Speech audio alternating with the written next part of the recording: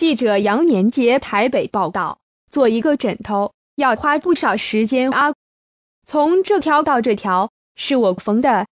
谈起自己的拼布作品，完全感受不到这是一群罹患失智症的长辈，他们在志工及家属的协助支持下，靠自己的双手做出一个又一个拼布作品。除了要向大众证明他们仍能够自力更生，也要以作品为其他失智长者募集照顾经费。天主教失智老人基金会表示，目前全台失智人口逾二十六万。但直到今日仍未有治愈方式，已成为社会一大隐忧。为打破社会大众对失智者的刻板印象，投入失智长辈的关怀及照顾，继续帮助他们维持基本的生活能力，以及发挥所长，增进对自我的信心，并让长辈们能够参与募款。天主教失智老人基金会说，对多数长辈而言，手作是原本就熟悉的能力。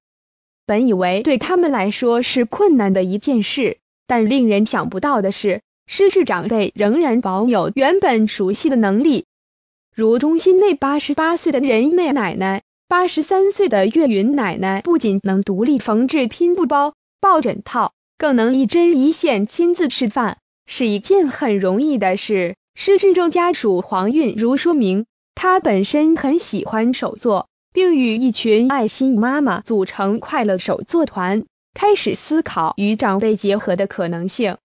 快乐手作团罗美云团长则分享，去年六月起，固定每个月来一次中心，带领失智长辈进行手作拼布，方式则会依长辈的个性、能力做调整。随着长辈们越来越进步，作品也越来越多。在去年十月。几位长辈在家属与同仁陪同下，到玫瑰圣母堂六十二周年庆园游会摆摊，义卖自己的作品，不论是拼布包、餐垫、抱枕等，对长辈和他们都是很大的鼓励。天主教失智老人基金会职能治疗师郑佑生表示，失智长辈对时空概念、理解与表达等能力可能有些退化。但许多长辈对于过去熟悉的技能及记忆仍在，只要引导投入到擅长的活动中，就会变得比较好。